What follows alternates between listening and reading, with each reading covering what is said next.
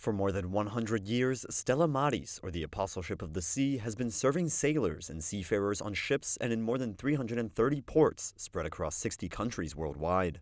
Its global leaders have met in Glasgow, the city of the organization's founding, to hold their 25th World Congress, the first time they've gathered since the pandemic, which drastically changed the nature of their ministry we had merchant ships that were coming to us and no one was able to get off the ships you know because of the pandemic but they still needed groceries they still needed sim cards their, their phones would break uh, if they weren't going to get off their ship for 15 16 months they needed a phone to be able to contact their families among the focuses of the Congress was the changing pastoral dynamic for seafarers caused by the war in Ukraine, which closed the country's ports, although its sailors continue to travel on ships. Uh, and in many cases, Ukrainian and Russian seafarers travel together. They're almost always on the same ships together.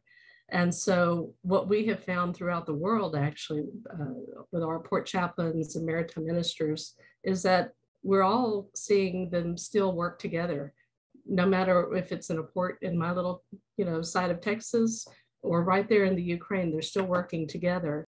Pope Francis sent a message to the Congress's participants, urging them to continue advocating for the rights of sailors, a group that is often forgotten, despite that some 90% of the world's trade travels over the sea. He cares tremendously about seafarers. He he's always elevating them and always reminding them that they're not alone, like in the midst of the pandemic. He knew that we had 400,000 seafarers stuck on board ship by June of 2020. Another 400,000 were stuck at home, unable to go to work. And he heard that and he, he understood that.